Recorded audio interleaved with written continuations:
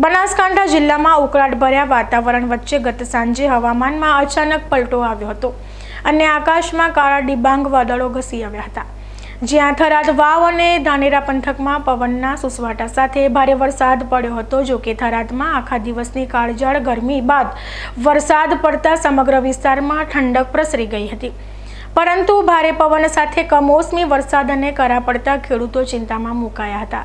કારણ કે કમોસમી વરસાદ પડતા ખેતરોમાં ઉભેલા અજમાના પાકને મોટું નુકસાન થતાં ખેડૂતો મુશ્કેલીમાં મુકાયા છે. અત્રે મહત્વનું છે કે ખેડૂતોના માથે જાણે આબ ફાટી પડ્યું હોય તેમ એક પછી એક મુસીબતોમાં ઘેરાયેલા રહે છે. જેમાં એક તરફ કોરોનાના કહેરથી ખેડૂતો મંદીની માર સહન કરી રહ્યા છે.